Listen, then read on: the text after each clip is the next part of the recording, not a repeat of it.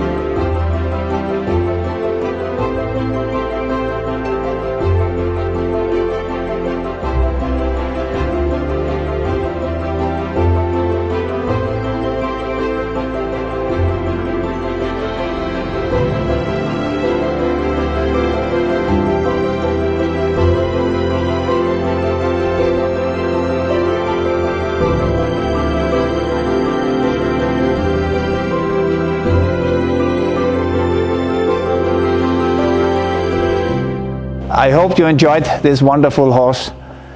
I think he really showed exactly what I said before. The rideability is enormous.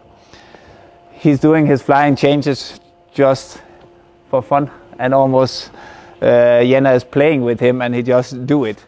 He collect himself, he goes forward. As I said, three wonderful gaits. I think we really see here a big, big candidate for the World Championship in the summer. We are really looking forward for this event. So please guys, if you want to make your, your wife or your daughter happy, you should use this wonderful stallion.